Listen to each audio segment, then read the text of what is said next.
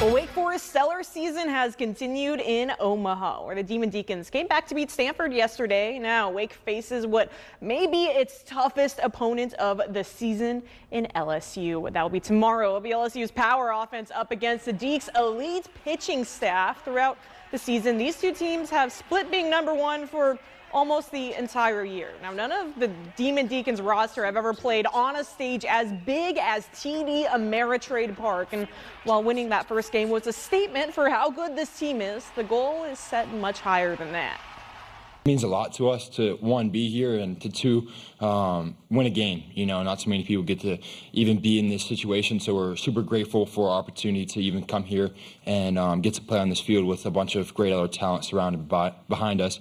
Um, but you know, history is not on our radar screen. We're looking forward to, to the next day we play and um, in the future. This Wake Forest team is hoping to do what the last Demon Deacon squad did, who went to Omaha back in 1955 and won it all. Piedmont resident Bob Kuntz was on that 55 team, and he's actually in Omaha right now with the Boys of Summer to see if the 2023 team can bring home the national championship just like his team did. Kevin Connolly has a story. Art Bonsagie, Bill Barnes, Harold Moore, Tommy Cole, Lexington native Bob Kuntz, who is now 90 years old, went to the original Wake Forest University in the town of Wake Forest on a football scholarship, but he also played baseball. He was a backup catcher in 1955. We were the, the little school in the Big Four, but we, we held our own pretty good. Kuntz, who would hitchhike to and from campus, has nothing but fond memories of his time at Wake Forest, especially being on that national championship team. We didn't have any superstars, I guess you'd call them. We had a pitcher that played basketball. I believe there were three football players playing baseball. Wake Forest had about 1,600 students back then. That 55 team is celebrated with a prominent exhibit inside the Wake Forest baseball complex. Some of the artifacts on display are Bob's.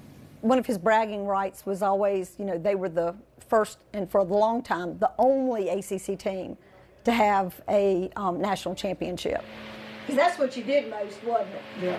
Beth White is Bob's daughter. As a family, they felt it was important to get Bob to Omaha to watch his Demon Deacons play we never thought it would happen, um, at least not in his lifetime. And the fact that he is, you know, physically able to travel that far for that long, um, I think that's the thing that is the most remarkable about this. After Wake Forest, Kuntz went into the Navy where he learned to fly. He then spent his career as a pilot for Piedmont Airlines. I would say he was probably happiest in the cockpit of an airplane ball field would probably be close second. Whether it's watching college baseball, one of his grandchildren playing high school ball, or you know even back to when they played little league ball. Um, he loves being at a ball field. He likes the atmosphere. He loves the food. Bob went to all but one of the NCAA tournament games in Winston and can offer this scouting report. I think they're pretty good. They're pretty balanced pitching is, I think, a little above average. Coach Walters does a good job. Uh, he gets probably the maximum out of his players. Speaking from experience, he has this bit of advice for the current Wake team. Give it everything you got. and never get back. Sound advice from a lifelong fan.